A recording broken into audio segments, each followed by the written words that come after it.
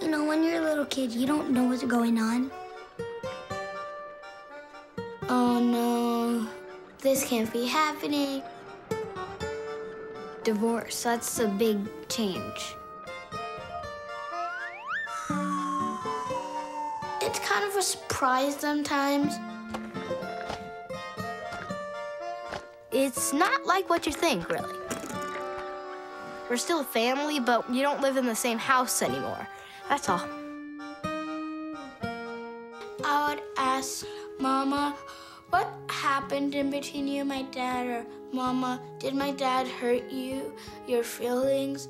Or did you break, did he break your heart or did you break his heart? Oh, yeah, okay. I'm kind of glad you guys got divorced. Like, your personalities are like this wide apart. And I don't think that would have like functioned very well for anybody. I go back and forth for my birthdays. This time, for my birthday, I'm going to my dad's house. And then next year, I'm going to go to my mom's. But sometimes I wish I could uh, have my birthday at my mom's, but I can, but I want it to be fair. The thing that I think about most is my loyalties towards my parents because uh, sometimes it's like a matter of choosing between my dad and my mom and I never want to hurt anybody's feelings. When my mom told me she had a new boyfriend, um, she, I I got really sad and I just kind of crying did help in that case. I just kind of went and I just cried for a long time. And that was about it.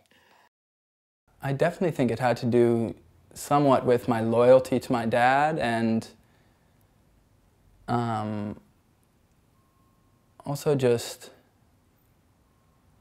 like feeling what I thought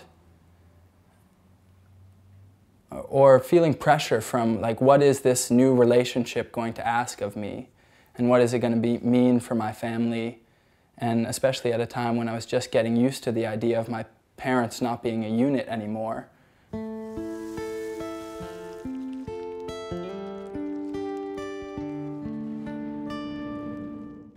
When they were going through the process, I had a, a counselor, and she she was a counselor that handled with divorcing parents, and she told me, Your only job is to be a kid. There's no right or wrong things to do.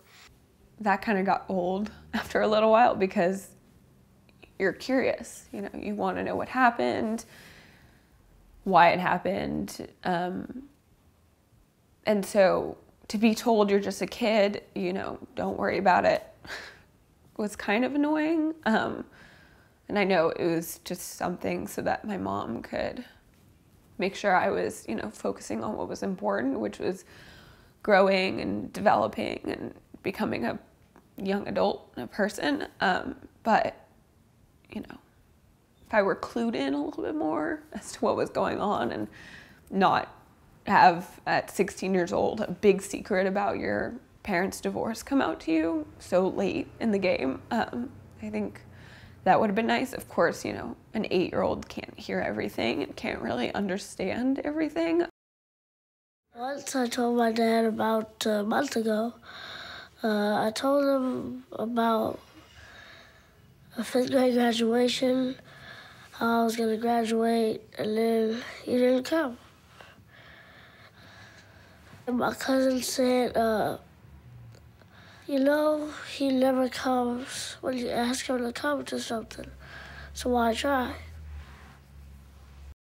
I am going to be the best dad, I swear. Because me being having gone through what I've what I've gone through and am going through still, I don't want my kids to go through that. I feel like that would that would that would even make me feel bad, you know, knowing that I'm putting them through what I went through. That may that probably make that probably hurt me more than it would hurt them knowing that I would do what my dad did to me. So, dad of the year every year.